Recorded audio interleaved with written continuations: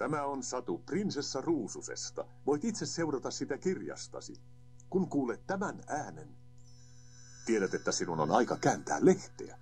Ja nyt aloitamme. Kauan sitten eli kaukaisessa maassa kuningas Stefanus ja hänen kaunis kuningattarensa. Eräänä päivänä heille syntyi tytär, joka sai nimen Aurora. Nimi tarkoittaa aamuruskoa. Olihan hän heidän elämänsä päivänsä.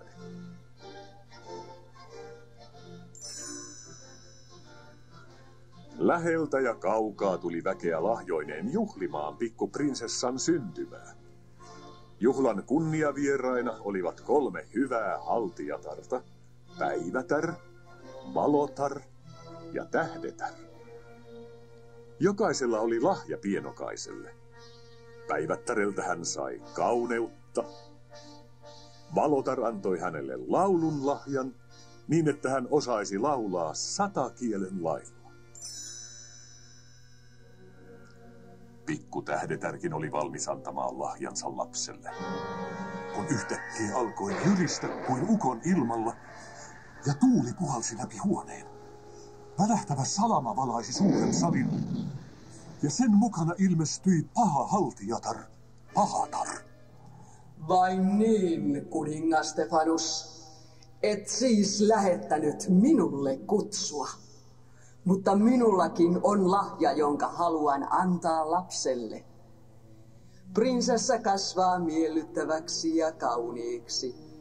Mutta ennen kuin aurinko laskee hänen kuudentenatoista syntymäpäivänään, hän pistää värttinällä sormeensa ja kuolee.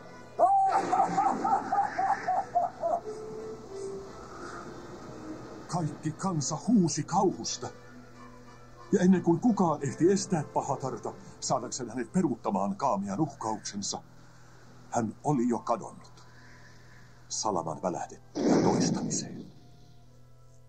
Kauhun hiljaisuus laskeutui saliin, mutta vielä oli toivoa. Tähdetär ei ollut antanut lahjaansa. Teidän majesteettinne, en voi taikoa pois tuota hirveätä uhkausta, mutta voin lieventää sitä.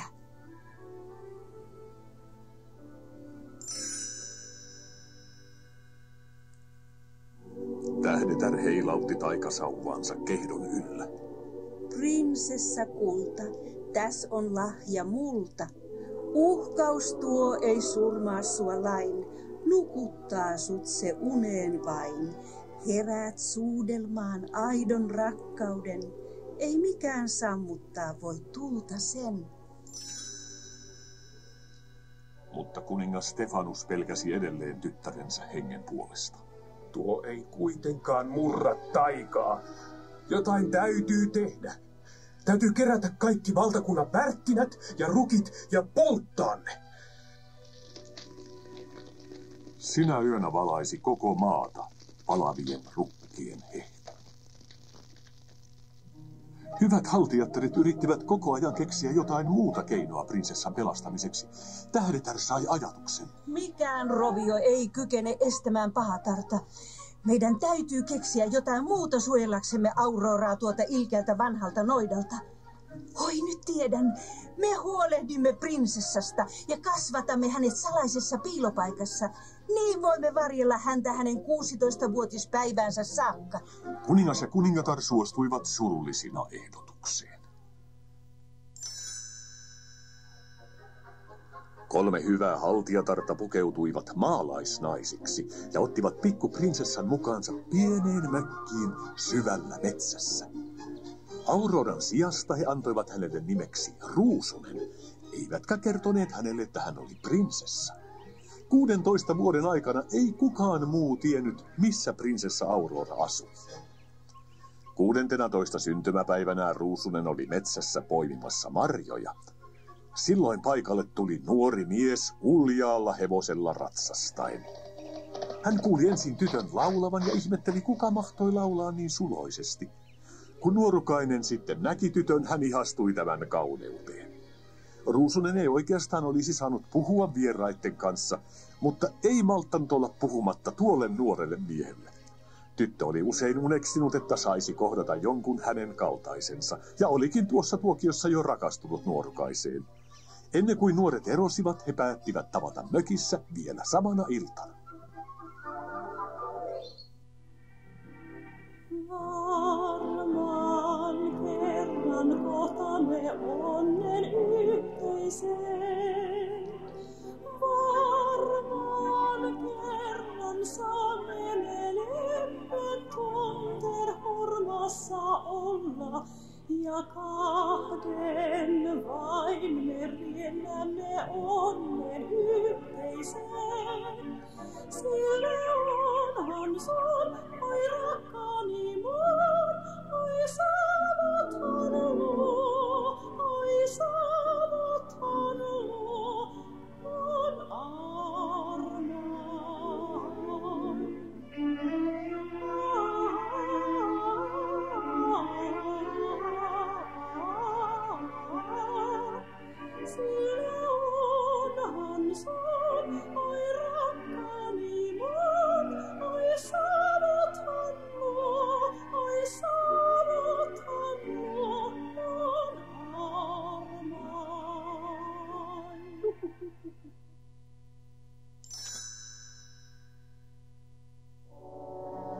Ruusunen riensi kotiinsa ja kertoi kummitädeilleen rakkaudestaan. He tulivat surullisiksi. Sinä täytät tänään 16 vuotta ja meidän on kerrottava sinulle nyt totuus. Olet todellisuudessa prinsessa Aurora. Ja on päätetty, että sinun tulee mennä jo tänä iltana naimisiin prinssi Filipin kanssa isäsi linnassa. Sinun on unohdettava se poika, jonka tapasit metsässä. Ruusunen purskahti itkuun. Samaan aikaan ratsasti nuori tuntematon kertomaan isälleen, että hän oli kohdannut unelmiensa tytön. Nuori mies oli juuri prinssi Philip. Mutta kun hänen isänsä kuningas Hubertus kuuli puhuttavan ruususesta, hän menetti malttinsa. Mitä? Oletko sinä rakastunut torpan tyttöön? Sitä en voi hyväksyä. Olen luvannut naapurimaan kuninkaalle Stefanukselle, että menet naimisiin hänen tyttärensä Auroran kanssa. Olet prinssi ja sinun on mentävä naimisiin prinsessan kanssa. Mutta Filip oli tehnyt päätöksensä. Hän vähät välitti isänsä suuttumuksesta ja ratsasti metsämökille tapaamaan ruususta. Mutta tyttö ei ollutkaan siellä. Kolme haltijatarta olivat jo vieneet hänet kuningas Stefanuksen linnaan. Prinsessa Raukan olisi pitänyt olla onnellinen, mutta hän ajatteli vain poikaa, jota hän ei enää koskaan näkisi. Tähdetä yritti lohduttaa häntä. Leuka pystyyn, ystäväiseni. Et saa näyttää noin surulliselta, kun tapaat isäsi. Kuivaa kyyneleesi. Me jätämme sinut nyt hetkeksi rauhoittumaan.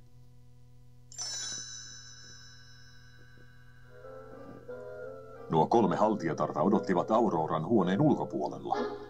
Silloin salaperäinen ääni kutsui prinsessaa. Aurora! Aurora!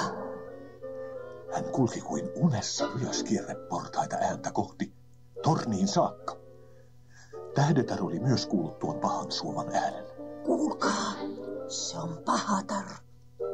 Haltijattarit kiirehtivät rappuja ylös etsimään prinsessaa, Ruusunen, ruusunen, älä kajoa mihinkään. mutta pahan haltijattaren lumous oli liian voimakas. Hän puhutteli ruususta pimeydestä. Kosketa värttinää. Kosketa sitä, sanon minä. Aurora tuijotti lumoutuneena hohtavaa värttinää, ojensi kätensä ja kosketti sitä.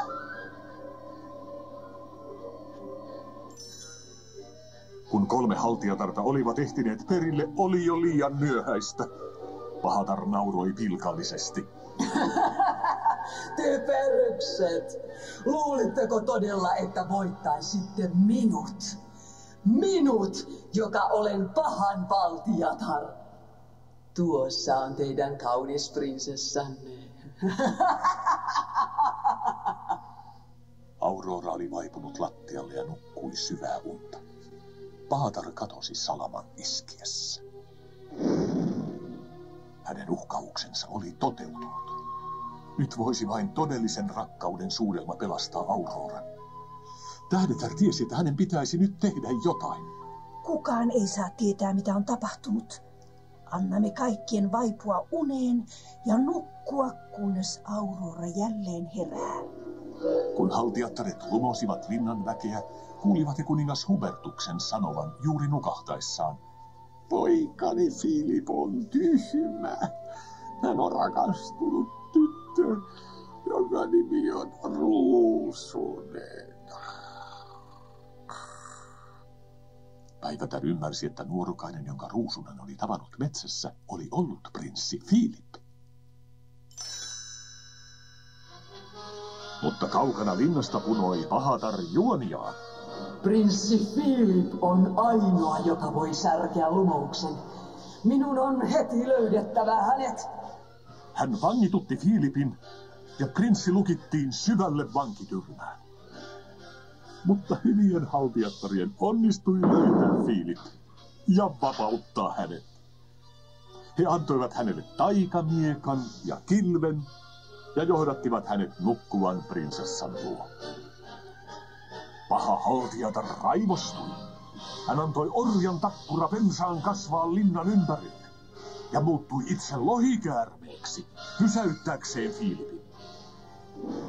Mutta prinssi taisteli ryteikön lävitse ja surmasi lohikäärmeen miekallaan.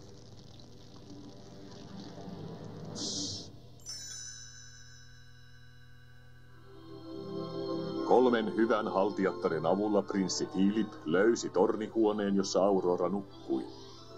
Prinssi aivan hullaantui onnesta nähdessään prinsessan. Tyttöhän oli sama, jonka hän oli kohdannut metsässä.